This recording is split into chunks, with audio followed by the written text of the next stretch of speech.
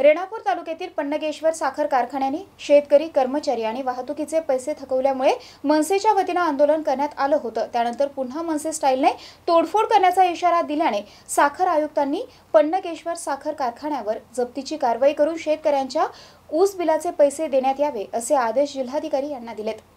पन्नगेश्वर साखर कारखाना लिमिटेड पाणगाव तालुका रेणापूर या साखर कारखान्याने शेतकऱ्यांचे कर्मचारी तसेच तोड वाहतुकीचे पैसे थकविल्यामुळे ते पैसे तात्काळ देण्यात यावे यासाठी मनसेच्या वतीनं शेतकऱ्यांना सोबत घेऊन अनेक आंदोलने करण्यात आले होते. तसेच साखर आयुक्तांना तीन ते चार वेळा निवेदन देण्यात आले होते परंतु साखर आयुक्तांकडून साखर कारखान्यावर कोणतीही कार्यवाही होत नसल्याने महाराष्ट्र नवनिर्माण शेतकरी सेनेचे प्रदेशाध्यक्ष संतोष नागरगोजे यांनी या साखर कारखान्यावर तात्काळ कारवाई करा अन्यथा साखर आयुक्त कार्यालयामध्ये तोडफोड करू असा इशारा साखर आयुक्तांना दिल्यानंतर आयुक्तांनी पन्नगेश्वर साखर कारखान्यावर जप्तीची कारवाई करून शेतकऱ्यांच्या ऊस बिलाचे पैसे देण्यात यावे असे आदेश जिल्हाधिकारी यांना दिले आणि विना परवाना गाळप प्रकरणी साखर आयुक्तांनी पन्नगेश्वर साखर कारखान्यावर तीन कोटी सतरा लाख रुपये इतका दंड आकारलेला आहे. यावेळी मनसे शेतकरी सेनेचे लातूर जिल्हाध्यक्ष भागवत शिंदे यांची देखील यावेळी उपस्थिती होती. Uday Pathak MCN news Renapur.